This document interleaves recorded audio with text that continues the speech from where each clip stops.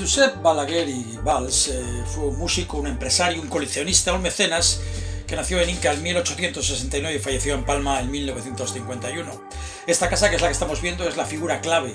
de este hombre que fue dinamizador cultural de, de la ciudad de Palma durante la primera mitad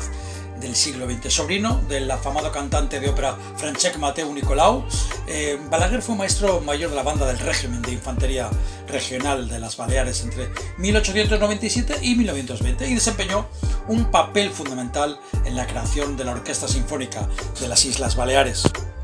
En 1927 Balaguer adquiere este edificio a la familia Blanes y instaló en él el órgano ese que vemos ahora de cámara semejante al que había presentado en Walker en la Exposición Internacional de Barcelona en 1929. Josep Balaguer, coleccionista, aquí podemos ver pues eso, el testimonio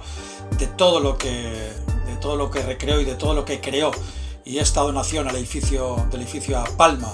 con la condición, entre otras, de que en él se instalara el Círculo de Bellas Artes y que se respetara la estructura original de la casa y la donación fue en 1965.